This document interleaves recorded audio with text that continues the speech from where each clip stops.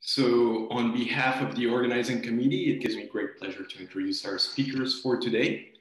Our first speaker is Dr. Hilmar Strickfaden. Uh, Dr. Strickfaden completed his undergraduate degrees at the University of Freiburg in 2003 and then obtained his doctoral degree in 2010 from the LMU uh, Munich under the supervision of Dr. Thomas Cremer. He then joined Dr. Michael Hendzel's lab at the University of Alberta as a postdoctoral fellow and is now currently continuing to work there as a research associate. So with that, um, I'll hand you, Hilmar, the uh, virtual microphone. Okay. And, uh, to us, for you to give us uh, your talk on KMT5C in liquid heterochromatin microenvironments. Okay, thank you for the kind introduction. So today I'm gonna tell you something about liquid heterochromatin microenvironments, and I will focus on a methyltransferase called, called uh, KMT5C. And all this work that I'm presenting you was conducted in Dr. Alan Underhill's lab, and he's also leading this project. So if you are in cell biology and you haven't lived under rock, you know what liquid, liquid phase separation is. Just in a nutshell, you have some uh, some components that under thermodynamically favorable positions can uh, unmix.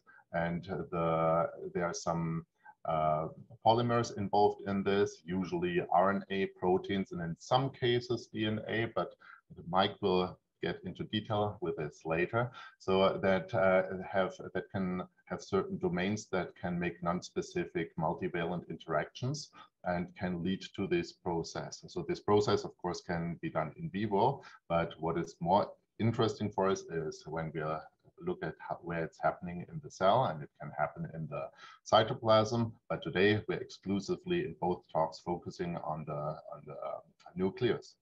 And uh, whenever I looked at uh, fluorescence pictures of nuclear bodies, I was always fascinated by the ability to concentrate a high amount of uh, similar proteins into a compartment. And recently has been found that some of these nuclear bodies, they are indeed uh, uh, forming by phase separation or then principles in there, but not all are doing this. So I don't, we don't think that uh, splicing speckles do this too much.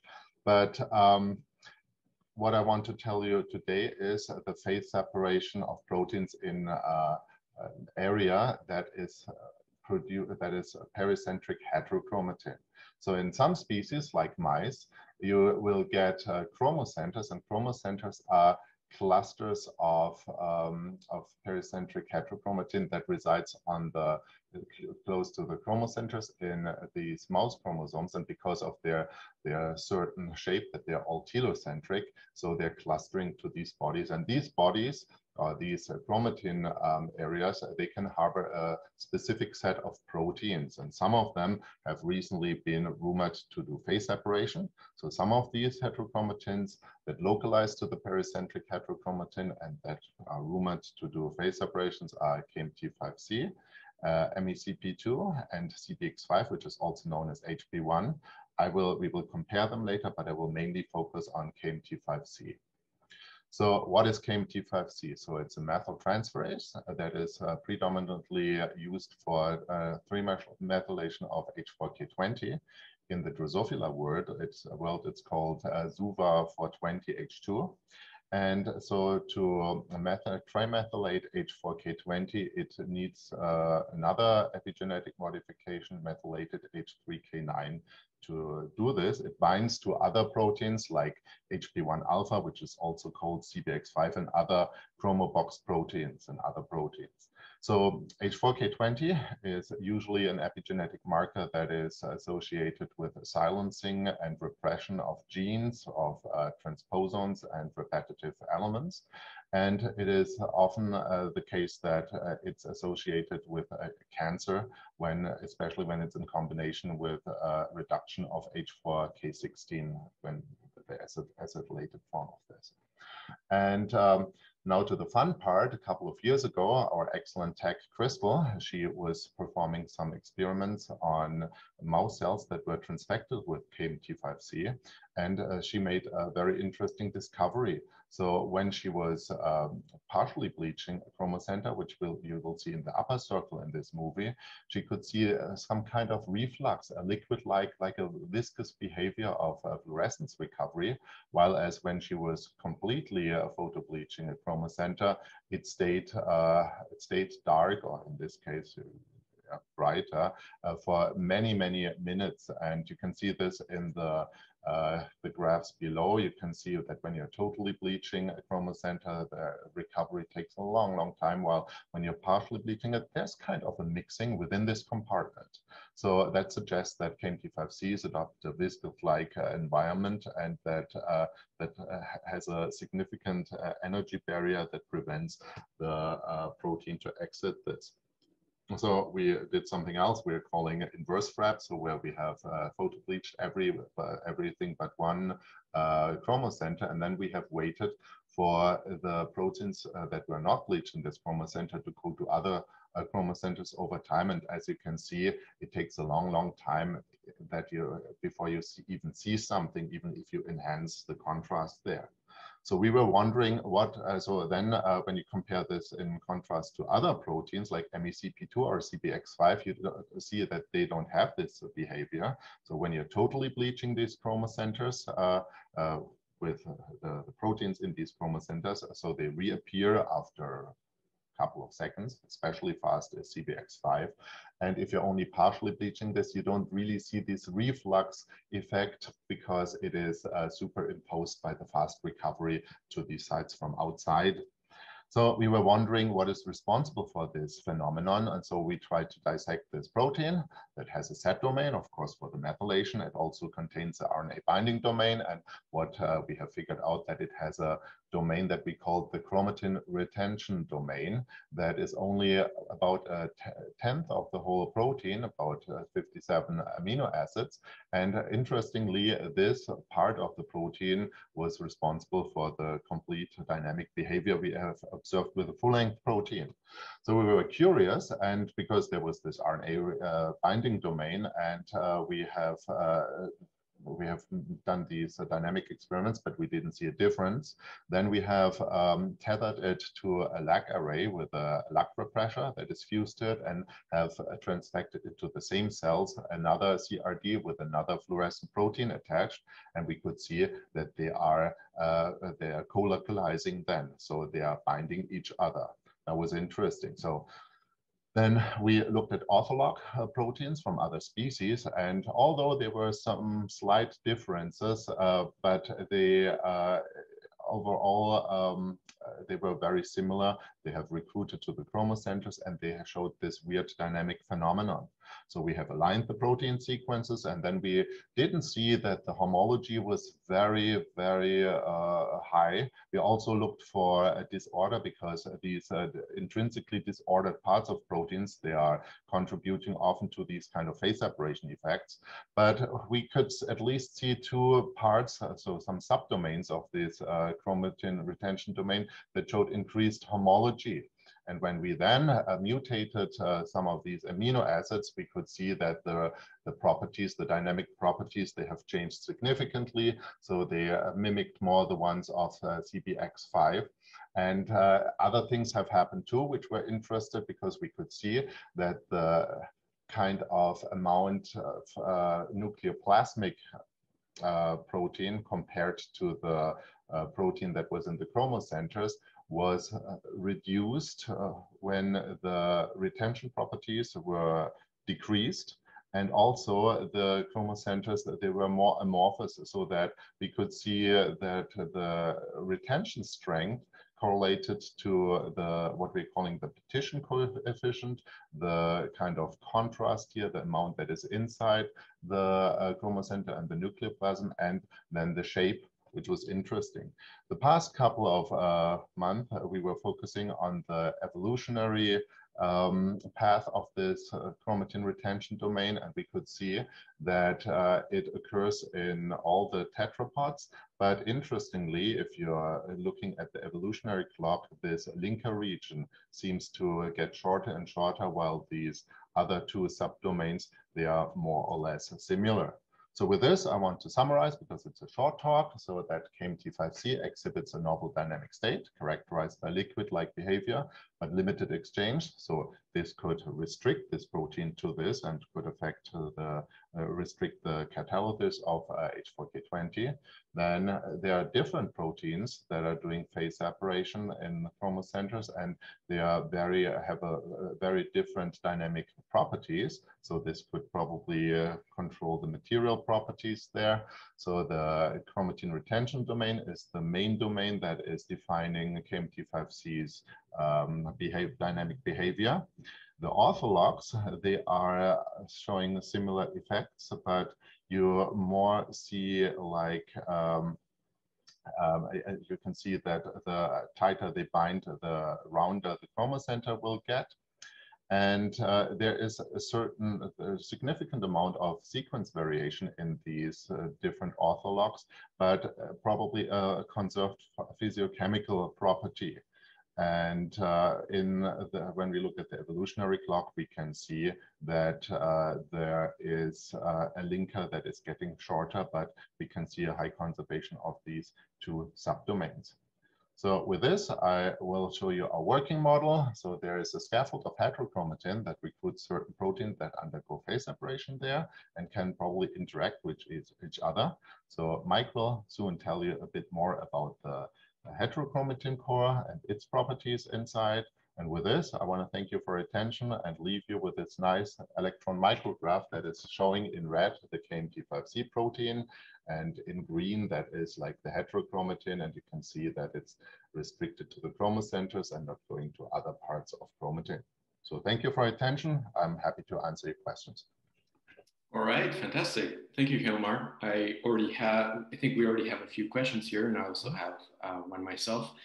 Uh, first question, do proteins other than nuclear bodies like paraspeckles, Cajal bodies also show phase separation properties? Yeah, of course, other as well. You know, you have a phase separation in, uh, in, in the cytoplasm, and, uh, you know, it's a, a, question in I think in vitro if you're changing the, the environmental condition I think you can probably get a lot of proteins to phase separate. How the situation is in vivo is, uh, is, is, a different thing but of course there are a lot of proteins that are undergoing uh, phase separation in the cell outside of the nucleus and outside of these nuclear bodies. All right. Uh, maybe I'll ask one question here.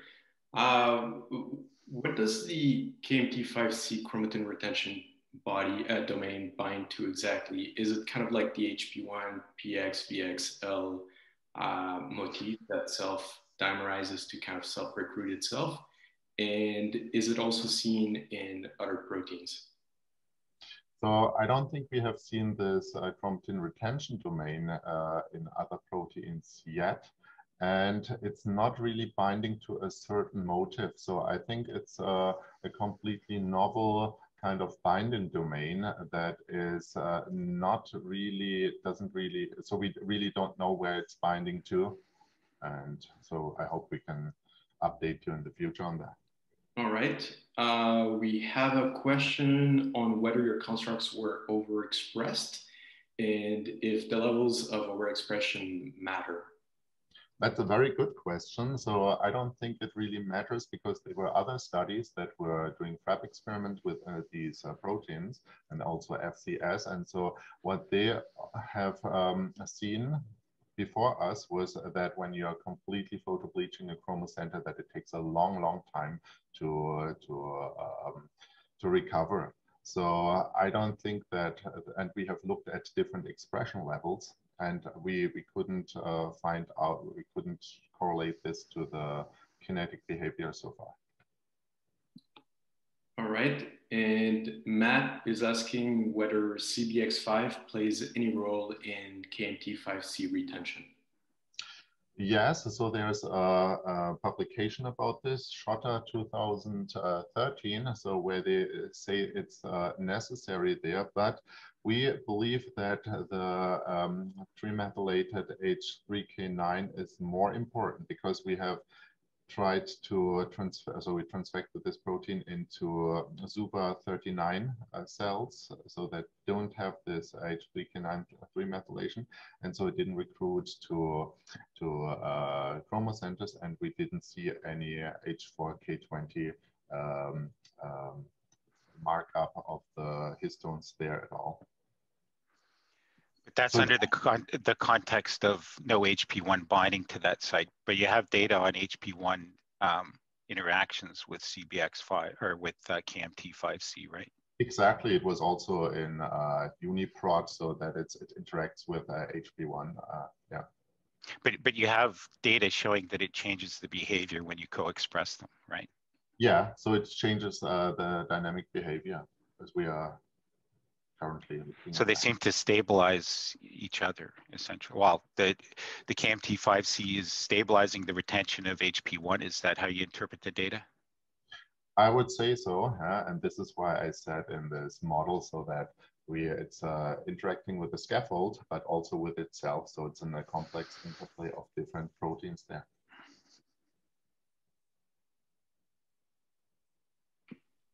All right, fantastic. And we're just on time here. So, unless there's one last question for Hilmar,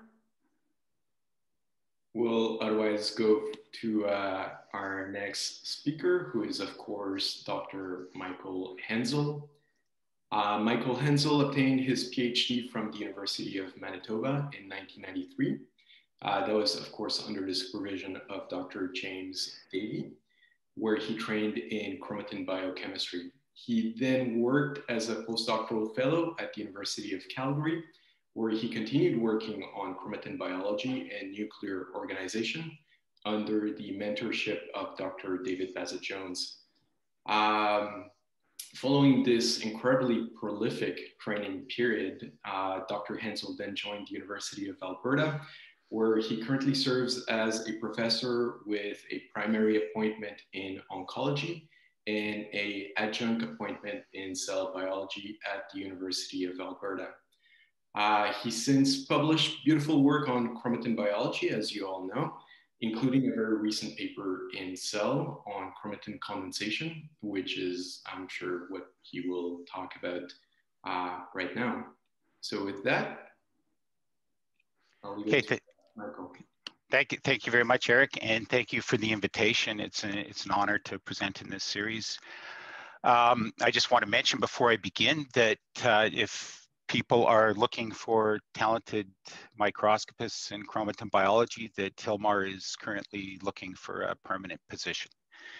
Um, today, I'm going to tell you about this collaborative work with uh, the Alan Underhill's lab and Jeffrey Hansen's laboratory where we looked at the material properties of, of chromatin and chromatin compartments. And what I'm going to tell you or argue is that the, the morphological appearance of chromatin in cells is dictated largely through a charge neutralization process and that when you neutralize the amino termini on the, on the core histones, you promote a more dispersed state and then when, um, when those are unacetylated or deacetylated, the nucleosomes stick together. And that this um, pretty straightforward biophysical process is what drives the appearance of chromatin that we see in all different kinds of cell types. And then um, Hilmar introduced to you uh, this work on KMT5C. I think these two pieces of, um, uh, these two studies go very well together.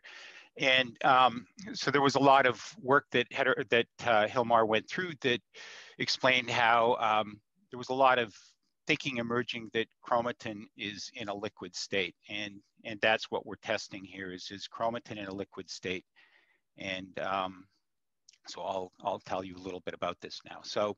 As you can see, this is emerging theme. So this is a recent review, fluid-like chromatin, towards understanding the real chromatin organization present in cells.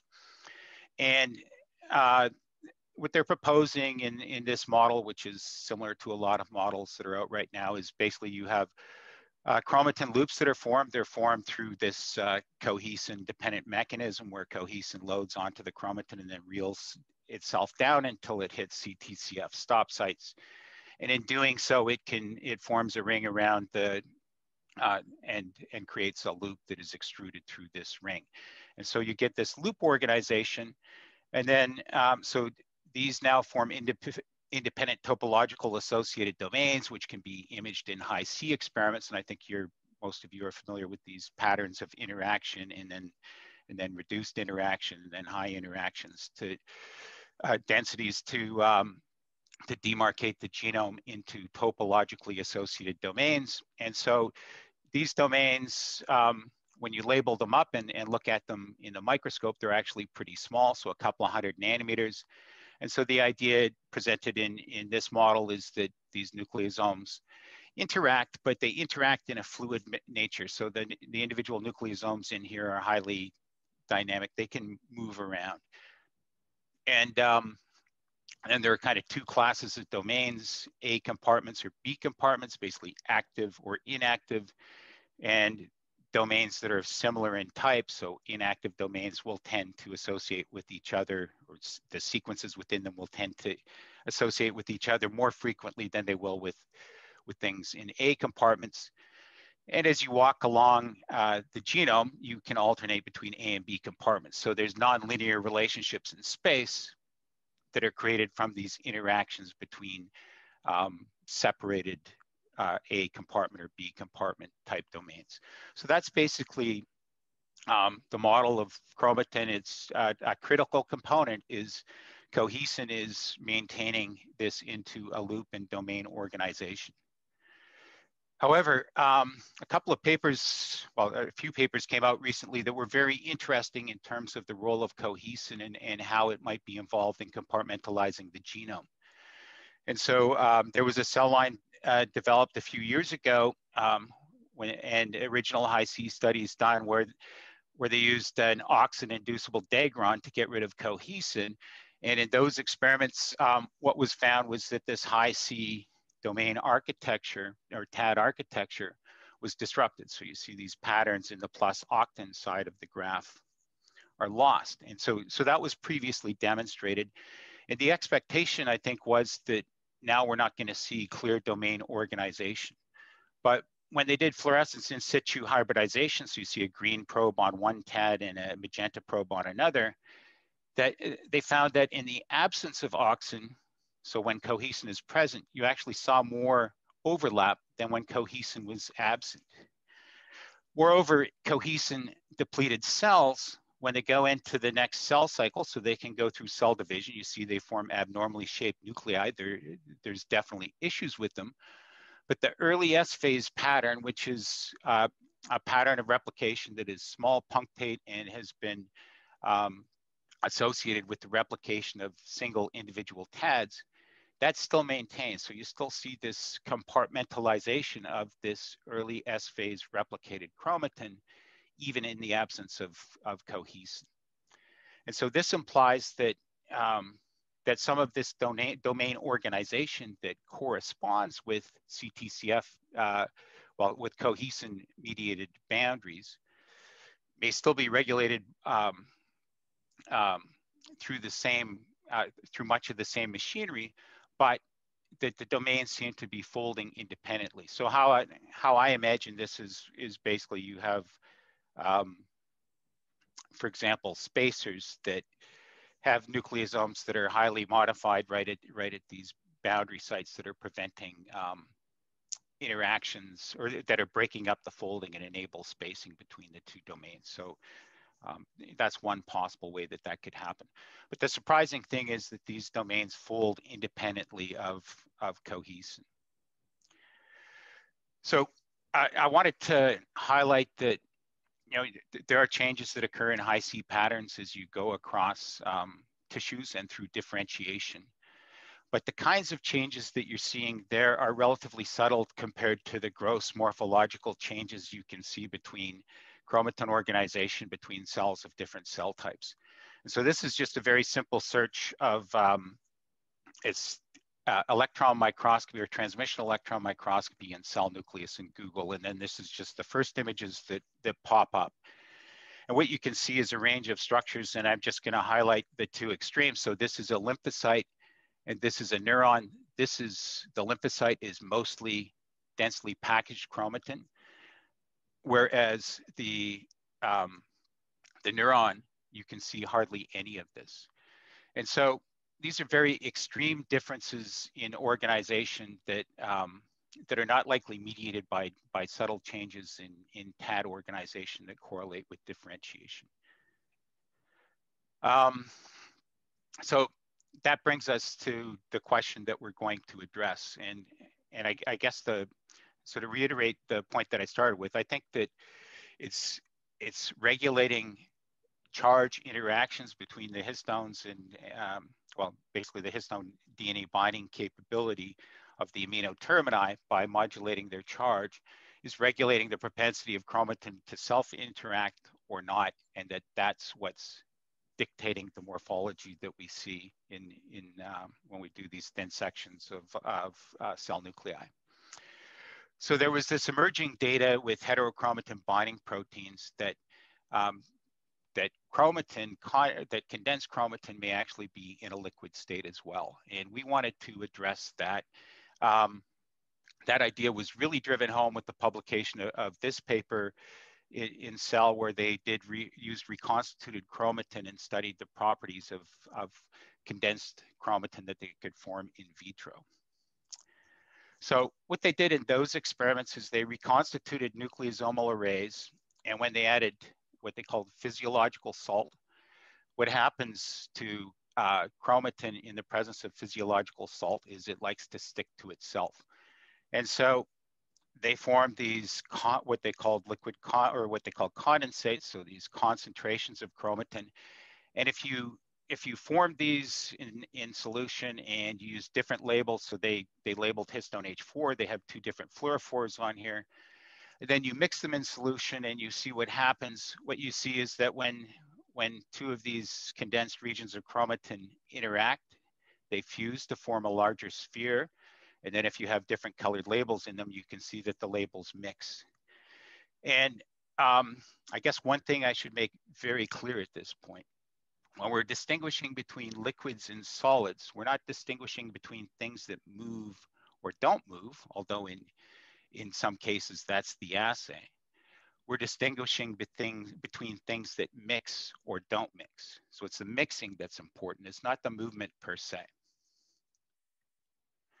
So uh, this is some work that was done in the, the Davie lab that um, I, I, want to use to illustrate that we've actually known about phase separation in, in chromatin structure, chromatin biology for um, about 50 years.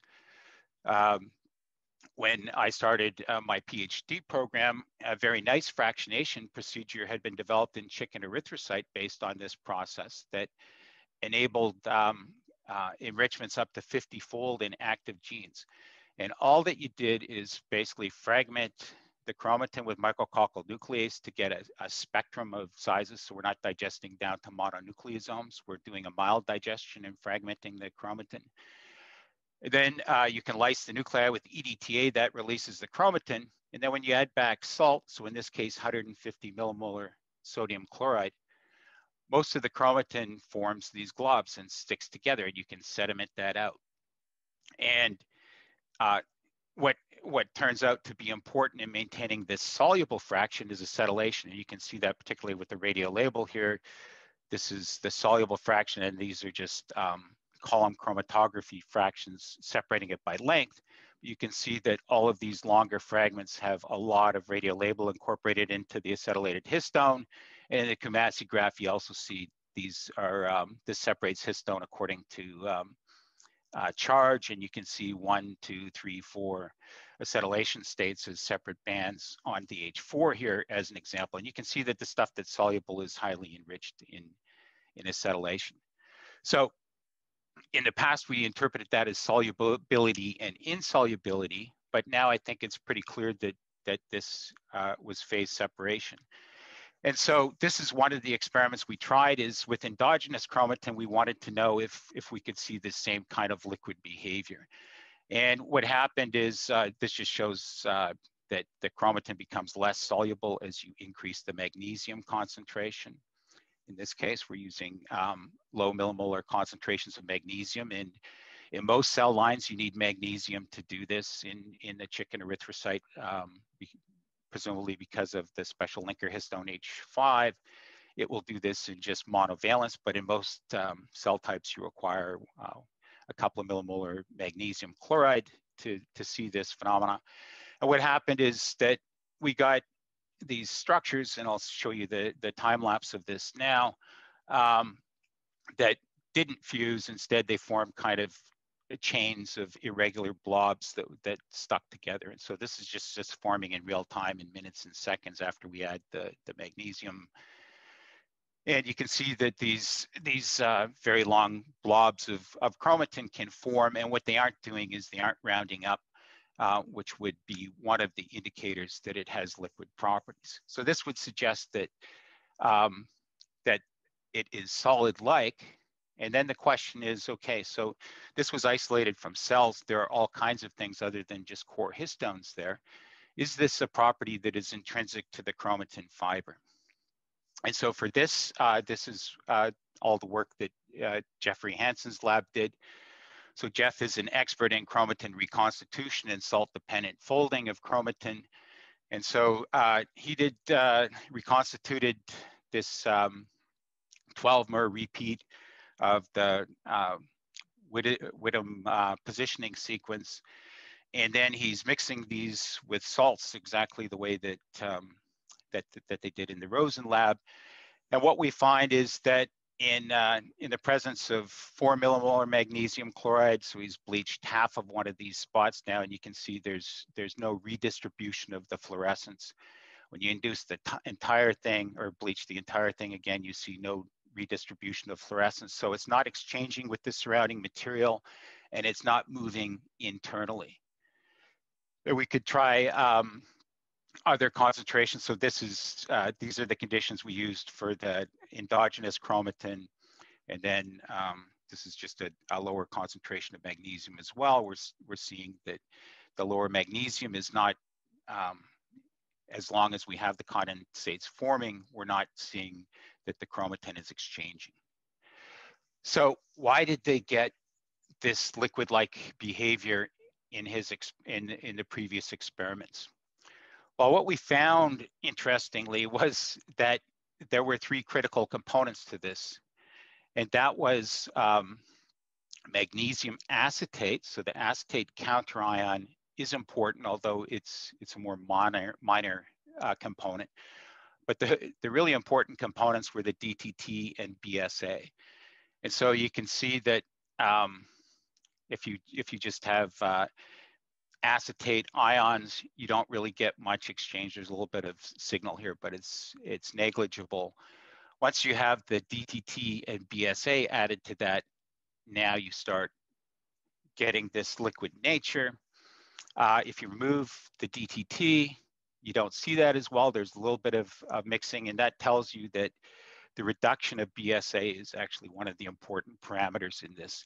And so that is creating the liquidity presumably by uh, competing with uh, with histones for interactions with DNA or or um, or some other mechanism.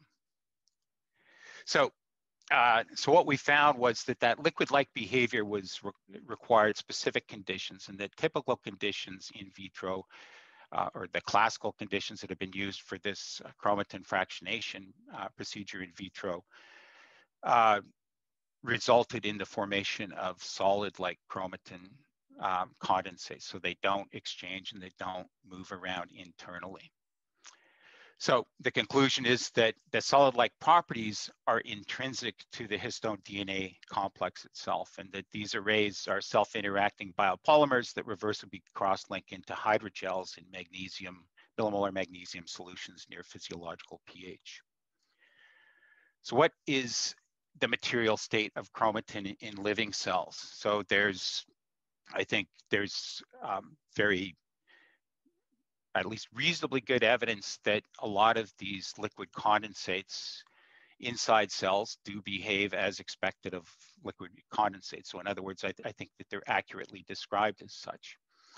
And certainly that seemed to be the case with heterochromatin and Hilmar just showed you a striking example of a heterochromatin protein that clearly was liquid, meaning that it could mix inside there. So the photo bleached and the unbleached components would mix. If we had two different colors in there, you would see the same thing, they would mix. But it doesn't exchange with the surrounding nucleoplasm or exchanges very poorly. So um, that's the first example of, of a protein uh, in the nucleus that's liquid-like in nature and is that robustly compartmentalized. And uh, in the absence of membrane barrier, it implies a very interesting mechanism. But and some other things that you saw from from Hilmar's and Alan's work is that uh, the the sphericity was often influenced by the KMT5C expression. So again, that's suggesting because um, uh, in a liquid liquid unmixed state, it will try and minimize surface area, the, the compartment that forms. And so roundness is, a, to some extent, uh, can reflect liquidity.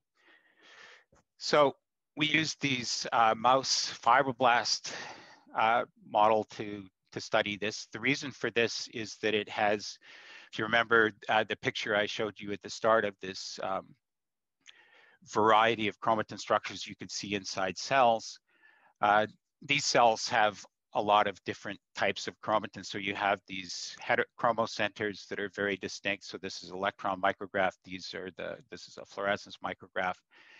But then you have all of this other kind of condensed material that you can see in fluorescence microscopy and in electron microscopy, you see um, scattered all of these little condensed regions. There's just higher magnification in electron microscopy, so the chromatin is yellow there.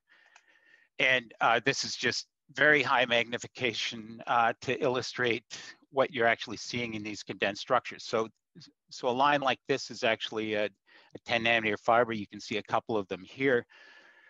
And what this looks like is that you essentially took some, you essentially got a bowl of spaghetti. You have a lot of, of individual 10 nanometer fibers that are interacting with each other, but there's no well-defined um, mechanism of interaction uh, it's been reported in, and uh, we can see in these micrographs too, sometimes you can get uh, two 10 nanometer fibers running in parallel for certain stretches, but as a whole, these these interactions don't appear to be well defined, but but the, the chromatin fibers are kind of um, well mixed with each other and interacting frequently, I guess is, is maybe how I would uh, say that. So to study the whether or not this was liquid or solid in cells, one of the things that you know um, people we did fluorescence recovery after photo bleaching experiments on histone H2B in uh, 2000, and uh, you know to some extent you could reach these conclusions based on on those experiments, but a limitation of those experiments, and particularly um, with single particle tracking data on nucleosomes where histones were labeled, suggesting that, that there was considerable liquidity inside the chromatin. Um, a disadvantage of those is that the histone can be uncoupled from the DNA. And so what we wanted to do is label the DNA so it was unambiguous if we got any kind of movement that it had to be, uh, you know, um, with the exception of something that was completely broken and, and diffusing, but we're controlling for that it would have to be um, the DNA, the chromatin that was moving. It, it, it couldn't be explained by dissociation of the histone, for example. And so we did these experiments.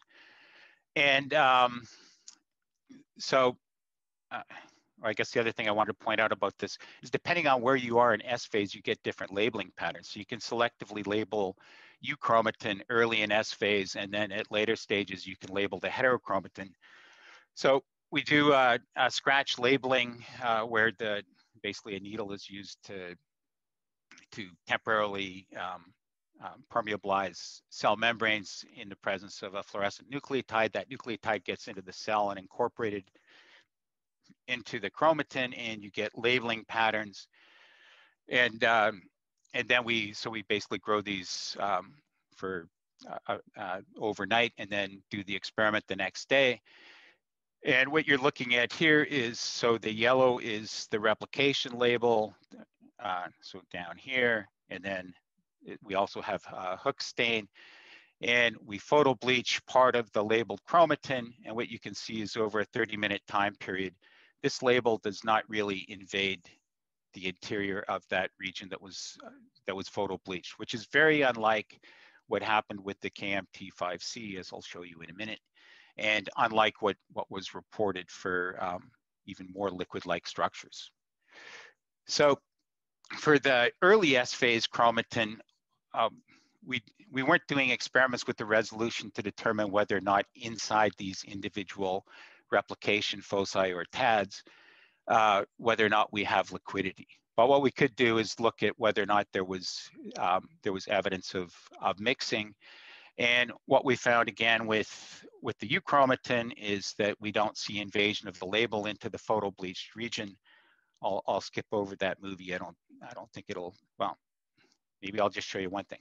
So again, I want to, I want to emphasize that we're not talking about an absence of movement. We're talking about an absence of mixing. And so if, if you just watch the first um, sorry, couple of seconds of this, you see these things jiggle around. There's plenty of movement. A lot of this, or at least some of this movement is mediated by external forces. But these things are constrained in their motion and motion itself is not the criterion for whether or not it's liquid or solid. It is whether you get mixing of molecules. So just keep that in mind when we're talking about this, because I don't want you to confuse and uh, confuse this and, and think that I think that that the chromatin inside the cell is a rigid rock and doesn't move. Um, that's not that's not what I believe. So can this coexist with liquid-liquid phase separation of heterochromatin proteins? Essentially, this was um, uh, I was going to skip over that. Hilmar introduced this to you in KMT5C. He showed you could get trapped inside chromocenters, but it uh, it could move within, so it was liquid. It could mix. So in part, this was a, a control experiment. What we were asking is whether labeling with DUTP was responsible for the solid-like behavior. And so we wanted to see if the KMT5C could recover under conditions um, that the, the DNA did not. And that's exactly um, what you'll see here. So you photo bleach this, the KMT5C is gonna slowly recover but the DNA does not move into that. So that means two things. One, it means that the slow movement of KMT5C is not explained by something that is stably bound to the DNA and the DNA is slowly moving. And it says that the labeling with the DUTP likely didn't change the properties of the chromatin um, in that we can still see this liquid-like behavior to the KMT5C without seeing the movement of the chromatin. Um, so this tells us that solid-like behavior of chromatin is observed in living cells and that compartmentalization of KMT5C into an associated liquid-like heterochromatin department is maintained in replication labeled heterochromatin. So can we create liquid states in chromatin? And so if we go back to this chromatin um, fractionation data, our expectation was that, that we could disperse the chromatin by treating them with histone deacetylase inhibitors and that this would show some evidence of liquidity. And um, this is this was uh, data also consistent with what was published in the Rosen lab. So what they showed was that if they uh, put a TET binding site in this array and then fused P300 hat domain to it and added acetyl-CoA, they could dissolve these domains, they would disperse. And they also showed evidence by injecting these arrays into cells that the acetylated chromatin would mix well with the nucleoplasm. And in fact, uh, you can see an earlier iteration of our paper before we had done these live cell experiments, and we were basing a lot of this on the electron microscopy. We basically concluded uh, that too. We, we thought that we had a charge-dependent phase transition where the chromatin went from a liquid soluble state with acetylation to a, uh, a solid uh, condensed state. So we can completely disperse most of the interphase chromatin with histone deacetylase inhibitors. So this is um, electron micrograph of uh, a cell in the absence of TSA. And so the chromatin, these are these kind of interphase chromatin condensates that we see. When we put in TSA, it's all dispersed down into a particulate nature with a couple of exceptions. The chromocenters in mouse are retained and there's a little bit of lamina associated chromatin. Um, that's illustrated again here, but the, the point is that um, these conditions were sufficient at the electron microscopy level to fully disperse these chromatin condensates. And so we were expecting to see liquid-like behavior, not necessarily in the heterochromatin, and, and we didn't in the heterochromatin, but we did expect to see maybe some evidence for that in the TSA-treated cells, um, but we don't. And it's also striking that despite blowing apart this apparent structure in the transmission electron microscope, when we look at the early S phase labeled cells, we still have these same replication compartments that um, have been correlated with individual TADs. So this implies that even though we've blown apart these, these um, most of these uh, nucleosome, nucleosome interactions that are holding fibers together, uh, there is still organization that's being retained. And um, I can speculate about why that is. Um, you probably have good ideas as to why that might be too, but but that was somewhat a surprise given the the total disruption of order that we could see in the in a thin section of a transmission electron microscope. So the second thing we did was uh, DNA damage. So we had shown, Hilmar had shown previously that uh, with laser microirradiation associated DNA damage, you get a lot of PARylation, which is adding a lot of negative charge to the histones and should work in the same, same way and blow apart this chromatin. And so what you can see here is that this is a, a heterochromatin region, a chromocenter. He does uh, the damage on this half of, of the chromatin, and all you really see is that um, that um, well, you, what you don't see is mixing between these these two surfaces. So you don't see any invasion of of these regions just outside of the damaged DNA with the damaged DNA. And I think kind of more strikingly, when you damage in euchromatic regions, what you see is isometric expansion, as if what you're doing is adding water to a gel. And I have a video of that, that that's a little bit more compelling. So um, there is one particular domain in here, it's probably hard to see, that gets dissociated, so completely blown up. And what you see with the rest of this is it just swells up and pushes everything out of the way as if it's just expanding. So um, maybe run that again. So the cellular chromatin does not mix even when in a dispersed state and the chromatin domains can be disassembled by laser-induced DNA damage and PARylation or deacetylase inhibitor treatment. But the chromatin still remains solid-like, so it doesn't mix. And uh, so to summarize uh, this part, I'm not sure, um, could you tell me how much time I have left, Eric? A couple of minutes. Okay. Um, there are some interesting movies uh, that I that I can show at the end to illustrate other features of chromatin to drive home some messages, but I don't have to. So, so the summary of this basically was is that in vitro, um, the chromatin, when we did photo bleaching, we saw that it didn't really move around. So that means that it's not in a liquid state. It was also irregular in shape. The chromatin reconstituted in vitro under most conditions also behaved as a solid. The chromatin doesn't move around in these condensates. But we could get this happening under conditions where BSA and DTT are present. This was true also, this is true of both euchromatin and heterochromatin. And so again, I got this note up here, mobility is not liquidity. And I wanna make sure nobody loses track of that, that point. So we're not talking about the chromatin domains not being able to move, they do. But within these domains, the chromatin is not mixing. And uh, oh, there we go. And so our overall model for chromatin structure is that um, charge is mediating whether or not the chromatin is going to associate with itself and form visible condensates. And um, acetylation is a major way of regulating this charge, but not the only one. Um, things I'm not really going to talk about here, but that's related to the ability of the chromatin to withstand force. But importantly, what I do think is relevant here is that, um, so what we think happens is that the chromatin is exiting mitosis in a dense state. And it has, in the case of this uh, pericentric heterochromatin, it's decorated with, for example, lysine 9 methylation.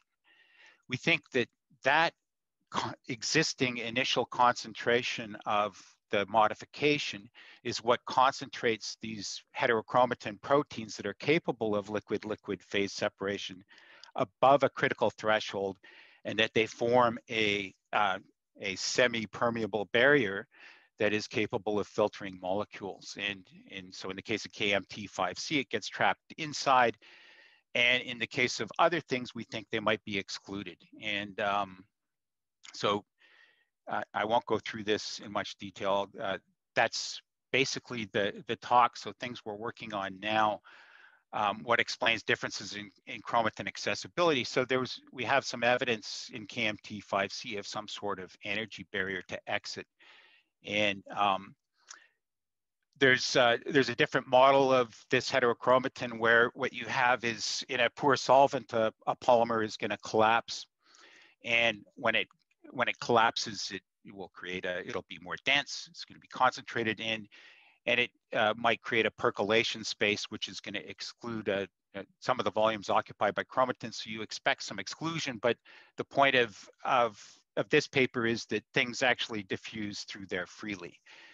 And we don't really think that's the case. So when we're looking at things like green fluorescent protein and exclusion from, in this case, a chromocenter, what we find is that the depletion levels can be up to 80 or 90%, and um, which is greater than what, what, what we think we should expect. So in mitotic chromosomes, the maximum chromatin density is around 50% of, of the volume occupied by chromatin.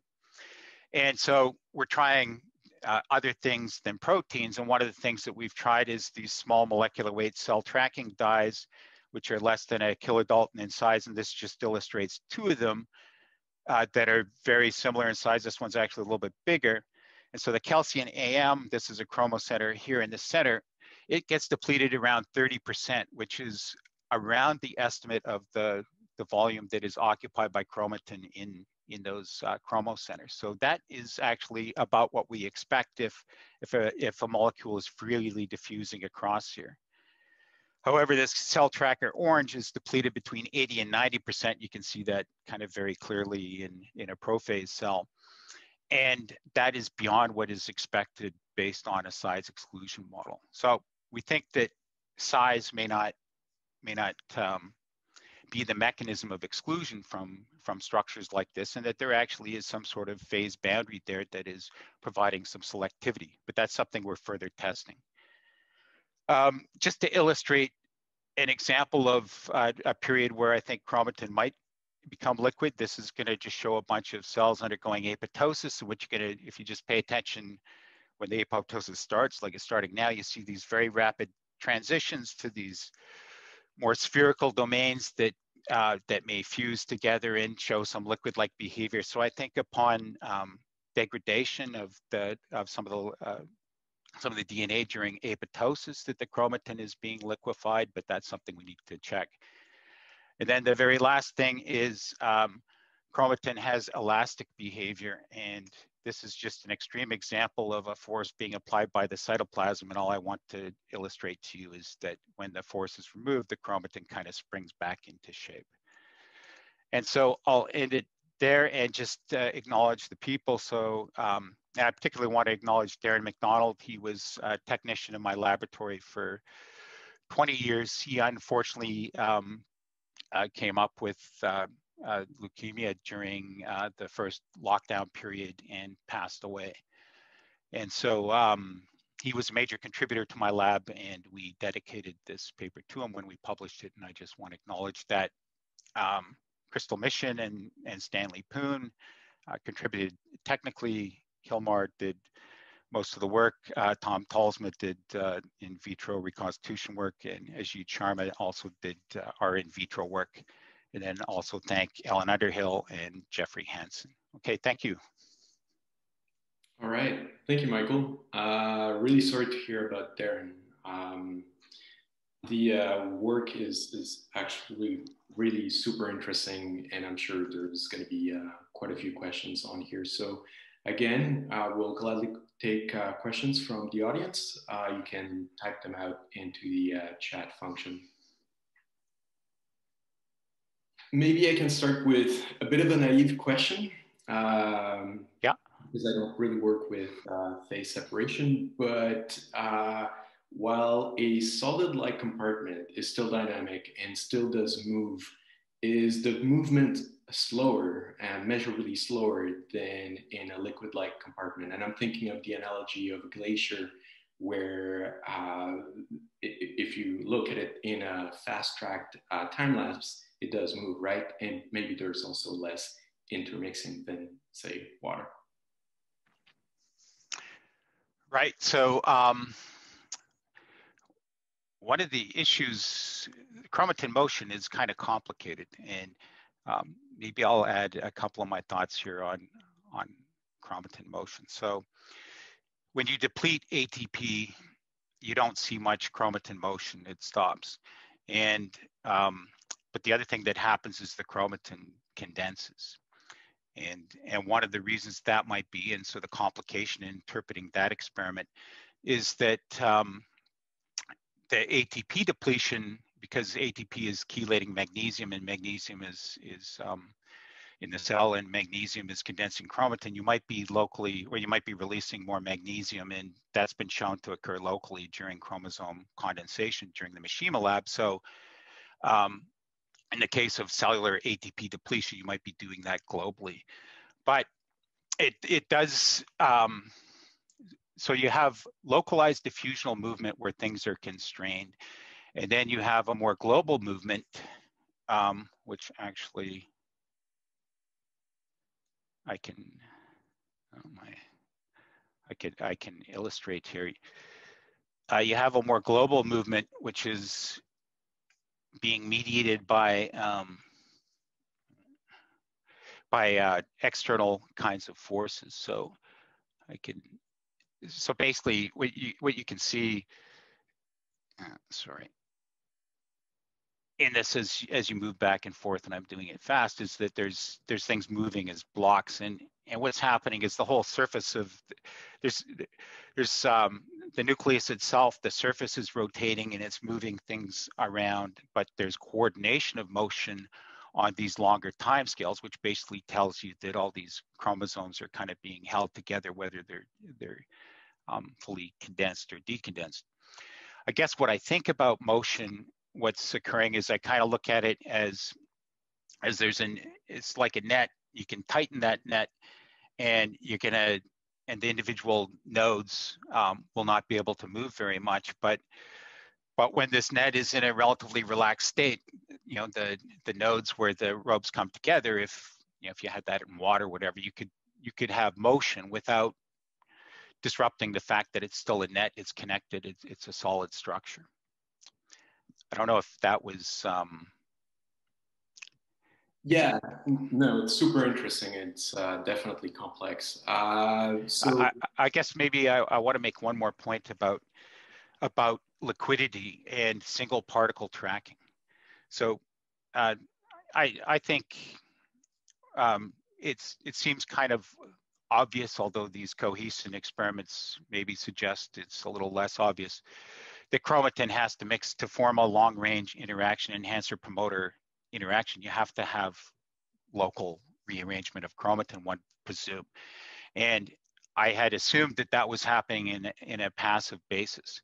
But one of the challenges in interpreting the single molecule tracking data is that you have this global motion and these whole domains are moving.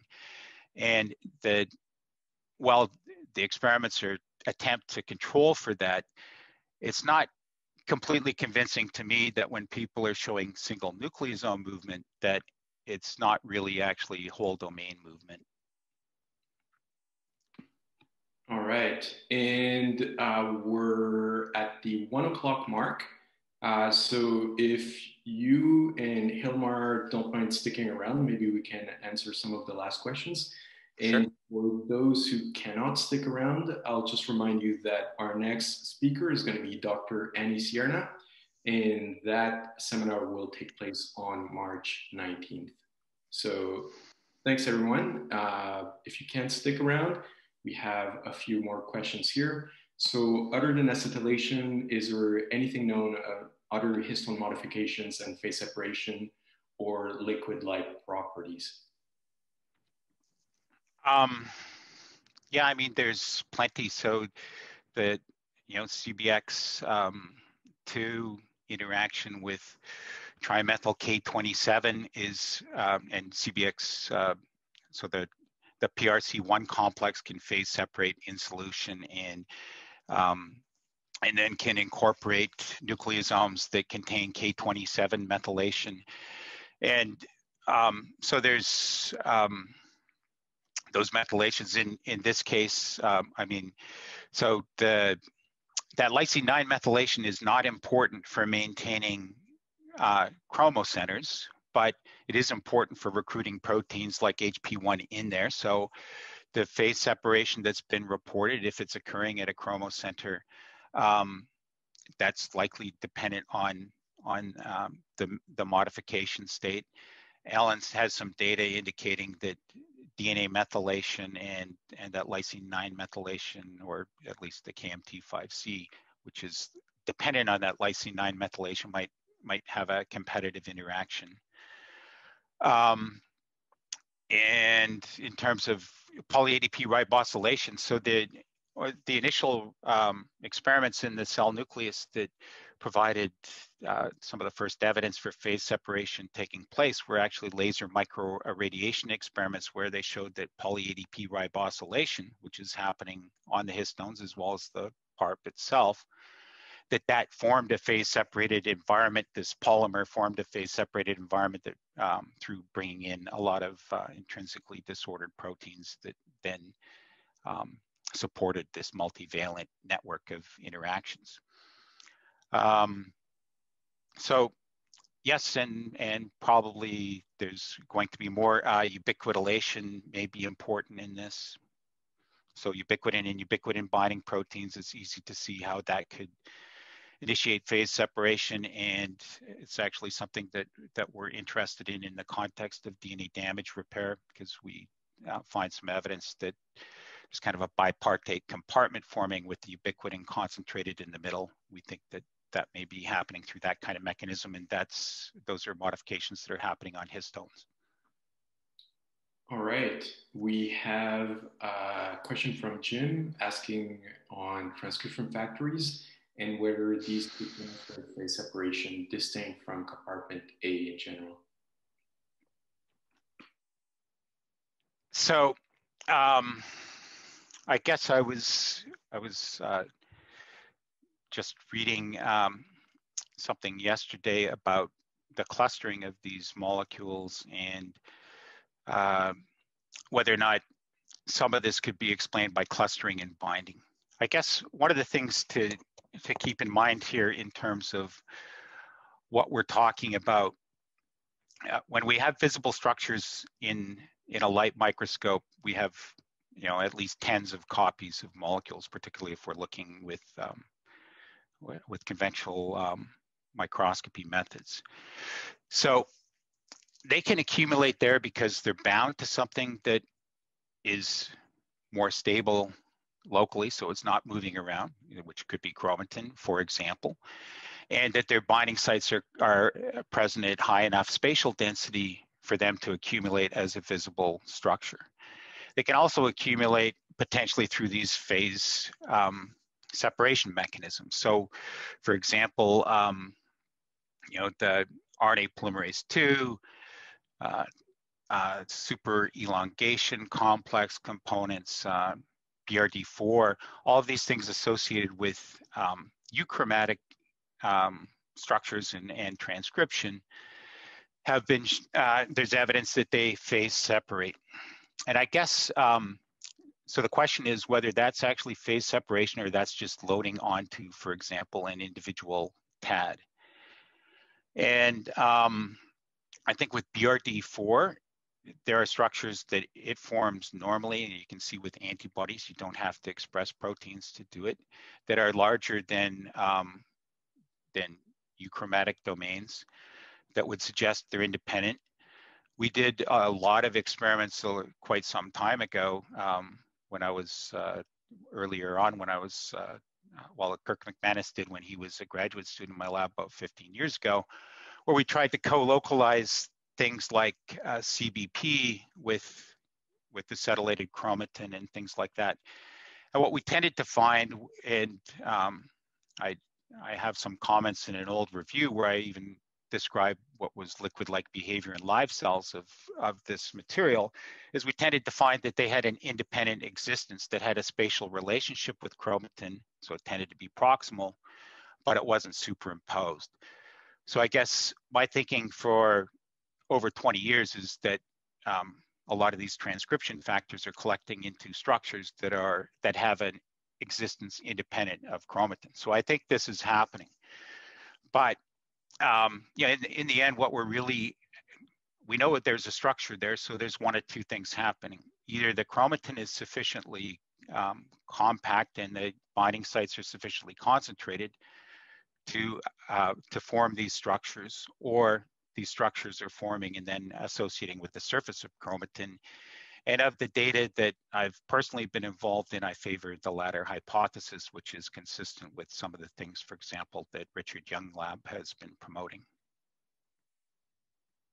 All right, so we still have a few uh, questions to go through, if you don't mind. No, I, uh, I have. Let, let me know need to uh, to run. yeah, I have. Uh, I have another hour. That's fine, Wakey.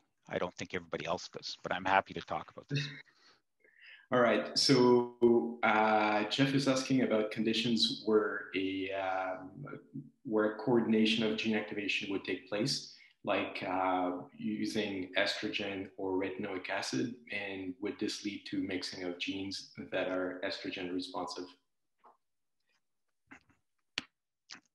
Well, um,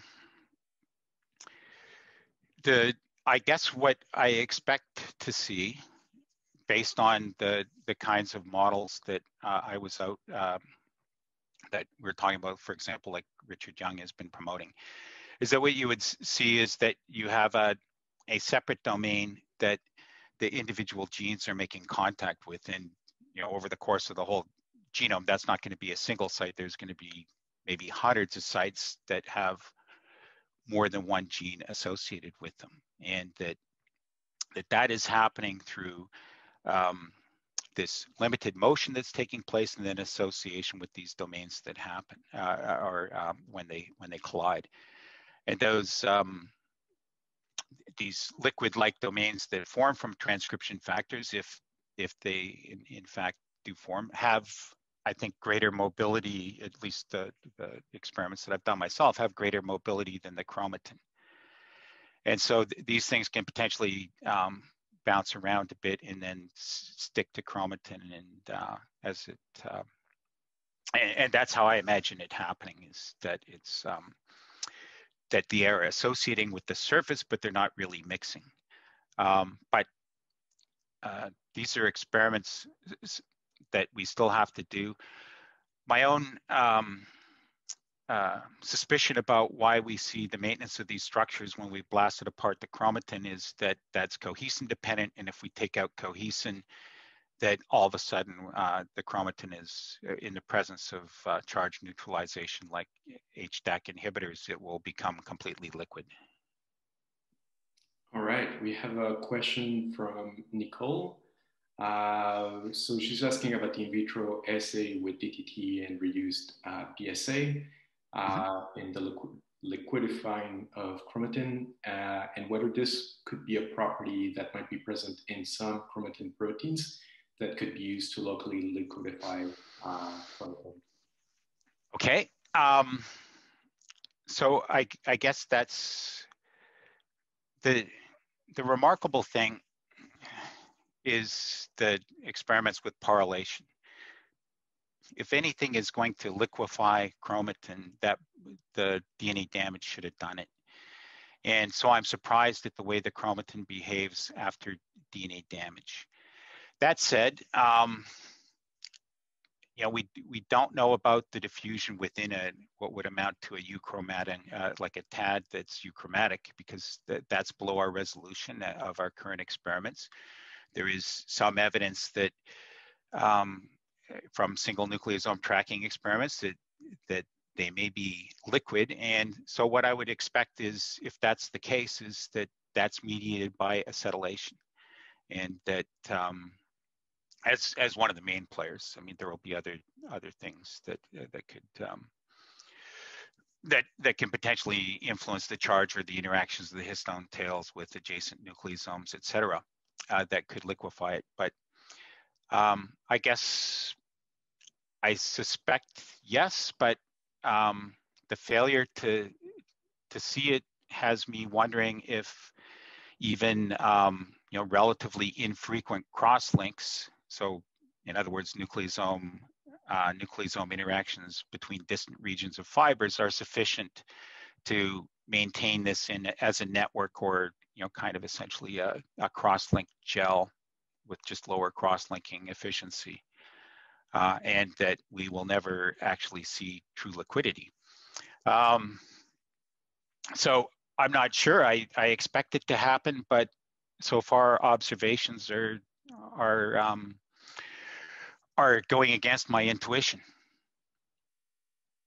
All right, and we have two other questions here. So Tanzim is asking if you could comment more on the mechanism of expansion of chromatin after IR-induced DNA damage. Yeah, so um, one of the things that's happening is that you're adding polymer, negatively charged polymers. And um, that disrupts the charge, should disrupt the charge balance. And this has been shown by Guy Poirier's lab um, many years ago in vitro that when you PARylate chromatin, it unfolds, it's, it becomes fully extended. It doesn't like to, the nucleosomes don't stick together. So what I think is happening is that you had nucleosomes that were sticking together. Um, and I wonder if, so um, uh, maybe I can, you know, basically you have things that are sticking together a lot. And then what happens is those interactions are reduced. There's water that comes in. Essentially, the chromatin fiber now is um, more able to interact with the solution as opposed to uh, strongly interacting with itself. And so it disperses out, but you still have interactions between chromatin fibers that are occurring, but at a much lower frequency. So that allows you to expand a gel essentially. Um, I don't, one of the things that I was doing a lot uh, while these experiments were taking place is my daughter was playing with these things called Orbeez, which are small they come as very tiny little beads and you put them in water and they swell up massively and and that's just from the gel becoming hydrated and binding more water and uh, and so that it you know it has cross links but uh, um, those cross links don't become um, limiting until you add a lot of water so essentially it's like a a relaxed gel when it's collapsed, and then you add water and you swell it until um, until you exceed its or until you reach its capacity to expand. And that's what I think might be going on with the chromatin is that it's it's swelling like a gel, um, and and that it is essentially a gel. All right. So last question. This obviously generated a lot of interest. Uh, do you think that the observed exclusion plays an important role in preventing positive regulators like HATs from accessing heterochromatin compartments and in turn its integrity? Yeah, so um, I guess if you if you look at this, if you actually go and and um, look at this bioRxiv paper, the original version of this paper, that was part of that paper, and we actually had um, CBP or P300 in there as part of those experiments. So that's what I suspect, but what we have to discriminate between is um, we have to discriminate uh, I lost my train of thought here. Um, we, uh, sorry, could you ask the question again for, uh, yeah, I, I lost myself. These compartments are excluding uh, oh. regulators. Right. So, so what we have to distinguish is size-based exclusion. And my understanding of, of chromatin-mediated repression and how people think about it is it's always based on a steric mechanism where you have size-based exclusion. And what we're trying to test right now, so why we use something like GFP is because it's pretty small, but um, CBP is also excluded. We have, uh, with the fluorescent tag on that, it's also excluded from the chromo centers. And so we started to move to what I wanted to do is basically get a range of these dyes that varied a bit in their chemistry, see which ones got in and which ones didn't, and see if we could infer anything about that, uh, anything from that about the mechanism, about a mechanism other than size that might be modulating it. But um, so yes, I, uh, my hypothesis is that uh, that these phase boundaries are important in regulatory fidelity, and and that the mechanism is not steric hindrance, that that's not how chromatin is being regulated. It's being regulated by, I mean, a, apart from the obvious steric hindrance of nucleosomes positioned on specific sequences. But I mean the chromatin folding itself. So the difference between DNase 1 sensitive and insensitive chromatin is not reflecting steric hindrance. Um, that's, uh, um, yeah, that's my thinking exactly. All right, we've gone through the uh, the questions. Thank you so much for uh, sticking around and uh, answering uh, everyone's uh, everyone's que comments, questions here, and thanks for everyone who uh, also stayed around to to listen. Yes, thank you very much, everybody. I, appreciate you sticking around and asking questions as well, and thank you for your attention. This was a, a real pleasure to get the opportunity to speak to this group.